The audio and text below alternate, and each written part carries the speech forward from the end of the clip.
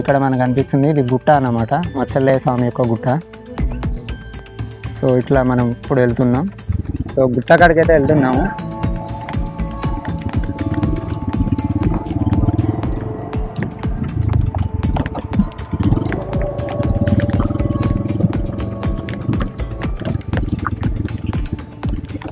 So ఇదే అన్నమాట గుట్ట. సో ఇది మచ్చల్లయ్య స్వామి యొక్క గుట్ట అన్నమాట. సో ఇప్పుడైతే మీకు చూపెడుతున్నా. సో ఇది గుట్ట. మచ్చల్లయ్య స్వామి యొక్క టెంపుల్ కాడికి అయితే వచ్చింది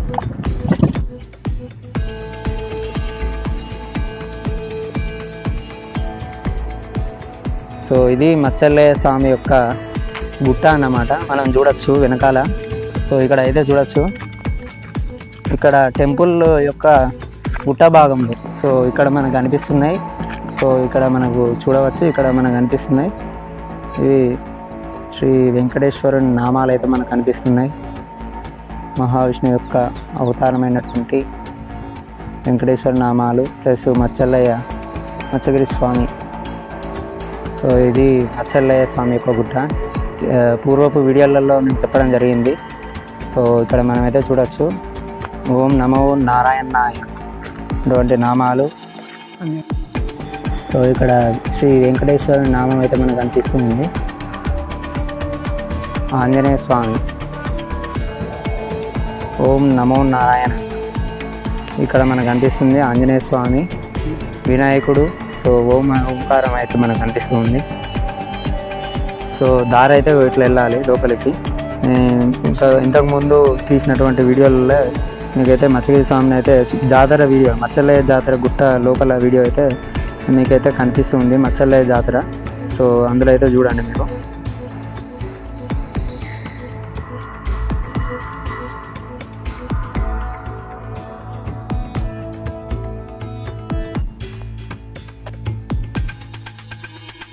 సో ఇది మనకు కనిపిస్తుంది ఇది గోపురం అంటారు గుడి గోపురము.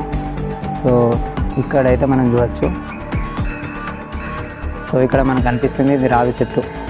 సో రావి చెట్టు ప్రత్యేకత ఏంటంటే ప్రతి ఒక్క గుడి దగ్గర అయితే ఖచ్చితంగా ఉంటుంది.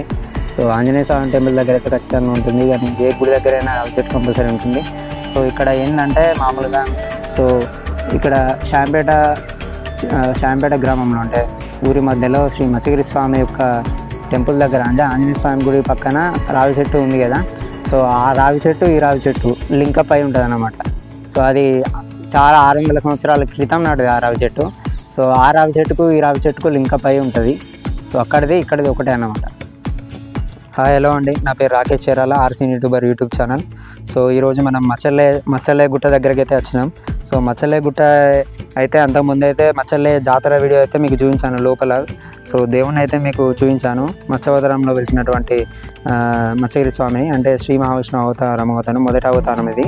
సో మత్స్యగిరి స్వామి యొక్క గుట్టలో అయితే మీకు చూపించడం జరిగింది. సో ఇప్పుడైతే మీకు గజవాహనం గజవాహనం అంటే ఏను ఏను గజం అంటే గజవాహనం అంటే ఏనుగు అన్నమాట. సో ఏనుగు వాహనం. సో ఏనుగునైతే బండరా బండరాయి మీద సేమ్ బండరాయే ఏనుగులాగా ఉందన్నమాట. సో అది మీకు చూపించబోతున్నా. ఇక్కడ మనకు కనిపిస్తుంది ఇక్కడ ఈ యొక్క బండ అయితే మనకు కనిపిస్తుంది. ఏనుగు ఆకృతిలో అయితే ఉంది. సో గజవాహనము. సో శ్రీ మత్స్యగిరి స్వామి యొక్క గజవాహనం అని అంటారు. సో పూర్వకాలంలో ఇక్కడ కాకతీయుల కాలం నడదన్నమాట ఇది. సో ఇది మనకేదో అవతారం అయితే ఏనుగు అవతారం లాగానే ఉంది.